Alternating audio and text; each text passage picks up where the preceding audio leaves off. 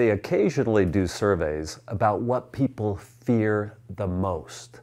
Last year, the three top fears were corrupt public officials, not having enough money, and the possible death of a loved one. Big fears. Of course, last year, COVID raced up onto those lists. But really, statistically speaking, we should remain more fearful of cardiovascular disease and cancer. But we have a lot of fears. In fact, on these lists, five very specific fears always appear public speaking, heights, bugs, clowns, and zombies. Very specific fears. In fact, if you want to now imagine the most possibly terrifying scene, imagine this. You have to give a public speech to a crowd of clowns and zombies. And you're standing on a ledge. And a spider is crawling up your arm. Okay, wait. I know a spider's not a bug, but you get my point. We have a lot of fears. And that one about public speaking, it reappears again and again every year. And people are always asking me, You're a preacher. Don't you get nervous to give a public talk? Yes, I get super nervous. I'm standing alone right now in a room, well, except for Tom and the camera, and I'm still nervous. It's nerve wracking to have to talk publicly. But as a minister, you get used to being nervous. You just get used to that feeling in your gut. I've given some 5,000 sermons. I have to preach every week. I'm used to being nervous. But what is really nerve wracking is not just standing in front of people, it's having something meaningful to say every week. That's nerve wracking. And Christian preachers are always preaching just about one of three things. Always. There's only really three Christian sermons God loves you, Jesus is awesome, and be nice to other people. That's pretty much what I've been preaching about for 31 years. But you have to find new ways to illumine that. And actually, every week I'm inspired by those three different sermons. Every week. God loves you. Every week I want to tell you you are loved beyond your wildest imagination. I know you might feel judged somehow by God or you feel some guilt. You are loved so far beyond that, any of that, whether you are gay or straight or any political persuasions. You have been made by God, wonderfully, reverently made by God. I can get inspired to say that to people every week. And Jesus is awesome. He is. He's amazing that type of connection to God, unity with God, the type of divine light that shines forth in him. He is awesome, and I want to talk about it every week and, and be nice to other people. I want to talk about us growing in compassion every week. It still inspires me. And be nice to other people, that also means fairness and justice, seeking social justice. I get inspired by those three themes every week. Well, we do have a lot of fears, but let's go into Scripture. I want to talk about fear today, but let's first go to the Bible. We're in Mark chapter 6. The apostles gathered around Jesus and told him all that they had done and taught. Jesus said to them, Well, then now come away to a deserted place all by yourselves and rest a while for so many had been coming and going, they had no leisure even to eat. Notice here that Scripture recognizes that we all need that rhythm between work and rest, that we all need rest and Sabbath and leisure. They went away in a boat to a deserted place. Now many saw them and recognized them, and they hurried there on foot from all the towns and arrived ahead of them as he went ashore, a great crowd began to form, and Jesus had compassion for them, for they were like sheep without a shepherd, and he began to teach them. Wherever he went, crowds formed. All through the Gospel of Mark, crowds are constantly forming. Why? because he's so magnetic. He is simply so attractive. He draws people. By attractive, I don't mean his looks. We have no idea what Jesus looked like.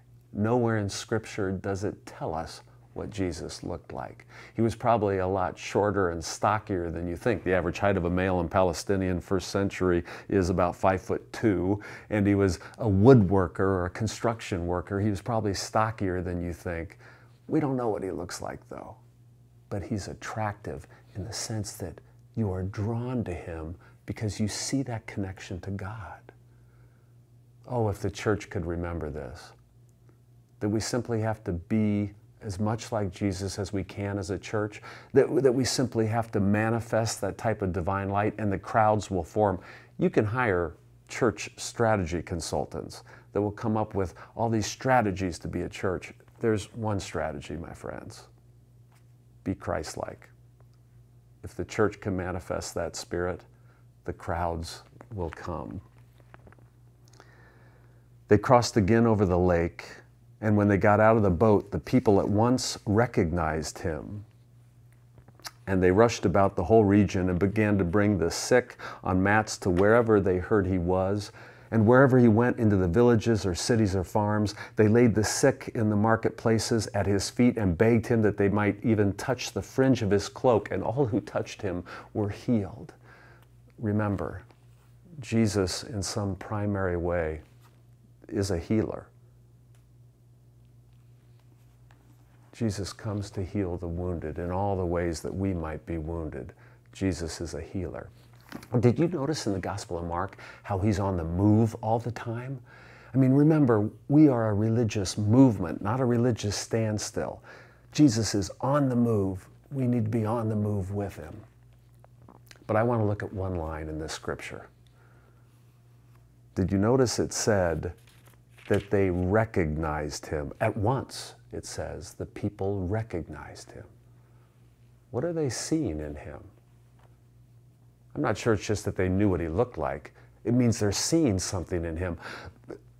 Probably, primarily, they can see a holy one. When someone is so connected to God, united with God, of God, that light just sort of shines. People can tell when they're in the presence of a holy one.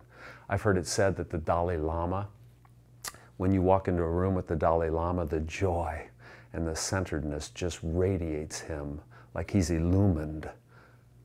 It would have been that way with Jesus. Of course, they recognize a Holy One, but I also think they see something else immediately, something that makes him stand apart. They see that he has no fear. We're beset by so many fears we're racked by so many anxieties, but they immediately recognize here is someone who is fearless. I don't mean in a way of machismo or some sort of heroic, crazy courage. I mean, he is calm and centered and fearless.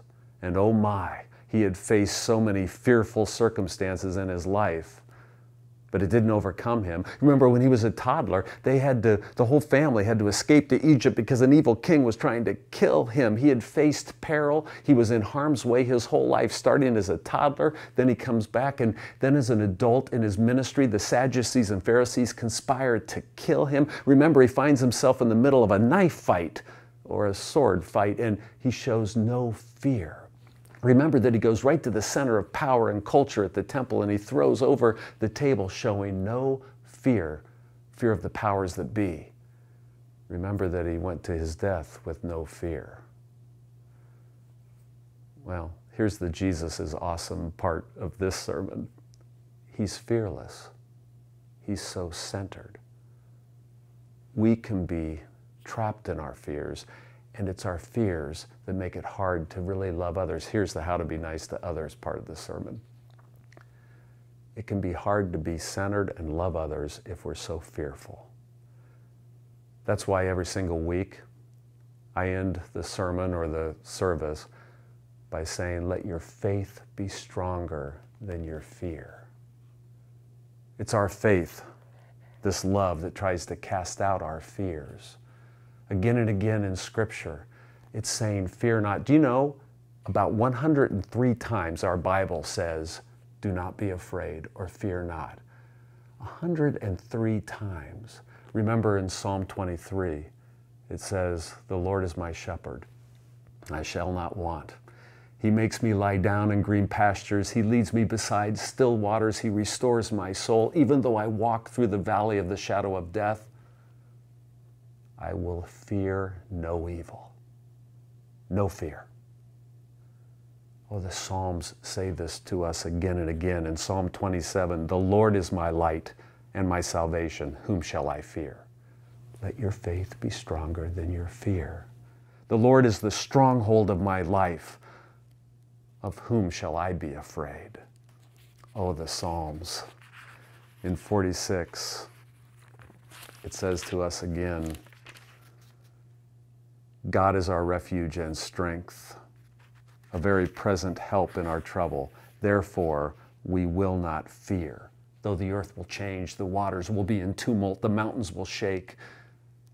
Have no fear. The Bible again and again says that to us.